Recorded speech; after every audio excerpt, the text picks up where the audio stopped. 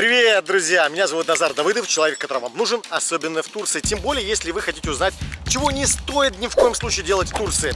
Подписывайтесь, ставьте лайки или дизлайки и делитесь этим видео. Ну что, поехали! Что же нельзя делать в Турции? Нельзя многого делать в Турции, как и в каждой стране есть свои ограничения. Но есть не только ограничения, связанные с законом, но и с морально-этическими нормами. Так вот, алкоголь. Носить открытый алкоголь, распивать его э, в каких-то исторических местах нельзя не только по закону, но и по морально-этическим нормам Турецкой Республики. Например, ходить э, в историческом каком-нибудь красивом месте и распивать алкоголь, это ну, верх неприличия, и вам наверняка сделают замечание обычные граждане, поэтому нельзя так делать. Будь добры помедленнее. Я записываю. Еще один очень важный пункт. В турецкий дом нельзя входить в обуви. Его таким образом оставляют снаружи. Ну, конечно, если у вас не ялы. Давайте посмотрим вместе. Это большая вилла, то есть такие даже угодья, которые стоят от миллиона долларов. Я сам недавно только узнал, что вот именно вот такие большие угодья называются ялы. Так вот там принято ходить в обуви, потому что гувернанты, уборщики, вот, всевозможные садовники. А вот в обычной турецкой квартире вот все оставляют обувь при входе. Поэтому разобывайте обувь и нельзя входить к туркам в обуви. Все оставляется за пределами их жилища. Это тогда что такое? Обувь. Обувь. Моя обувь.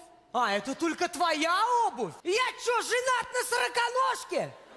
Совсем рядом здесь э, живет мой товарищ, и я частенько хожу к нему в гости. И недавно у нас была дискуссия на предмет того, э, отказываться или нет, если тебя приглашают в гости. Он турок. И вот, что я вам хочу сказать, друзья. Следующий пункт, это совершенно точно пункт, гласящий Друзья, нельзя отказываться от угощений, если вам приносят соседи. И нельзя отказываться, если вас зовут в гости. Да-да.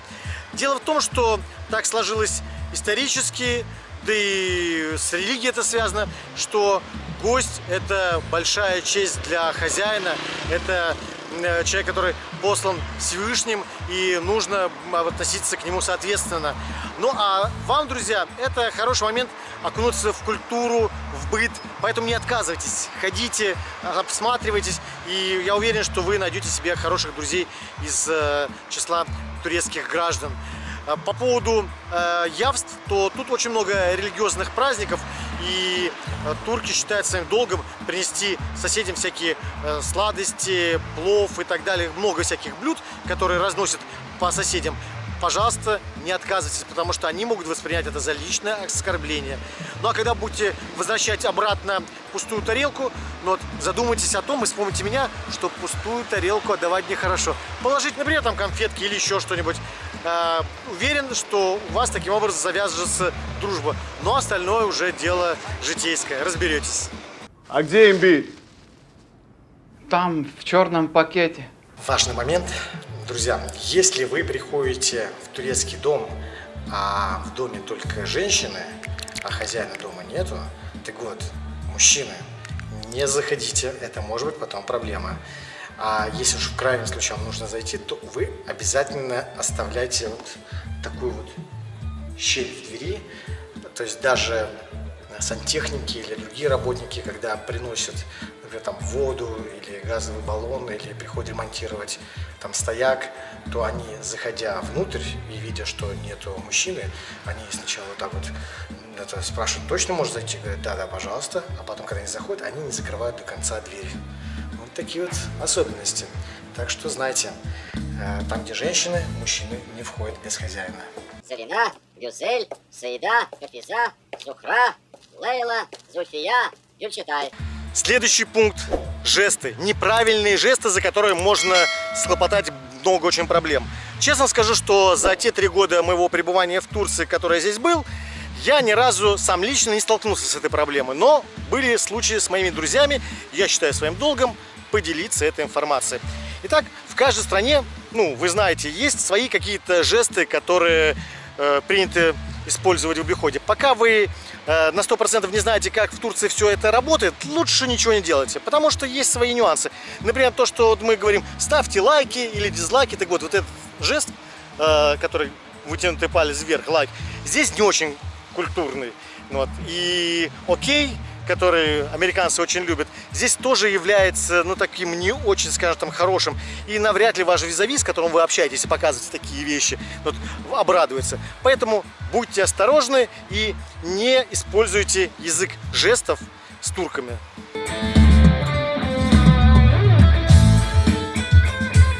Нельзя садиться с незнакомой женщиной, девушкой, девочкой рядом. Это касается особенно э, международных поездок, междугородних поездок в общественном транспорте. Вот, например, даже когда вы приобретаете онлайн э, билеты на автобус, там указывается, где вы, если вы мужчина, можете э, купить билет. А там, где нельзя, ставится, что здесь хоть и не куплено, но здесь сидит женщина, поэтому должно быть расстояние. Иначе говоря, э, по культурологическим моментам нельзя рядом находиться с женщиной. Даже вот в парке, например, если вы идете, и вам захотелось присесть, вы так идете уставший, присаживаетесь, а тут, оказывается, сидит женщина. Вот. Нельзя, нельзя. Маньяк, я. Женщина, уходите, уходить, нельзя нам рядом сидеть. Это, конечно, была разыгранная сценка, но тем не менее нельзя вот так вот идти и присесть рядом с незнакомой турецкой женщиной. Это может вылиться вам боком. Мгм. Руссо туристо. Облика морали, Ферштейн. Друзья, следующий пункт очень важный, потому что это может сберечь вам до нескольких лет вашей жизни. Да, не удивляйтесь. Итак, друзья, следующий пункт. Нельзя хватать все и вести с тех мест, куда вы пошли на экскурсию. Имеется в виду какие-нибудь артефакты. Вот, например, мы идем на каком-нибудь красивом месте. Видите, за моей спиной Алания лежит. А это камень, который хочется взять, чтобы потом вспомнить об этих прекрасных местах. Мы берем и потом идем на посадку, нас досматривают и находят этот камень. И что же вы думаете может произойти? Все очень просто. Помимо штрафа вас могут посадить даже в тюрьму, потому что незадачливого хозяина э, этого камня, который привез его с каких-нибудь там руин, могут арестовать за то, что вывозят артефакты. Ну, в, в крайнем случае, вас задержат до выяснения, является ли этот э, камень каким-нибудь архитектурно важным наследием турецкой культуры. Оно вам надо. Поэтому ни в коем случае нельзя вывозить никакие реликвии или даже камни с мест, где вы гуляете. Посадят вора в чан с дерьмом. Будьте очень осторожны с знакомствами. Друзья, это касается в большей мере мужчин, молодых парней, у которых кровь бурлит. И они хотят познакомиться с турчанкой, к примеру, если приехали на отдых. Хочу предостеречь, будьте осторожны, потому что вы можете нарваться здесь на проблемы. Потому что очень тонкая грань между знакомством и домогательством. Если вы чуть-чуть перегнете палку и будете слишком навязчивы даже в помощи, то вы можете попасть мало того, что э, в полицию, так еще вам могут предъявить претензии многочисленные родственники девушки. Да-да, культурологическое явление таково, что здесь девушка, женщина, принцесса, и вся ее многочисленная родня за нее горой. Поэтому будьте очень внимательны к тому, как вы предлагаете свою помощь, даже так, да. Потому что закон на их стороне, на женской, ну и просто житейские каноны общества. Поэтому, друзья, будьте осторожны.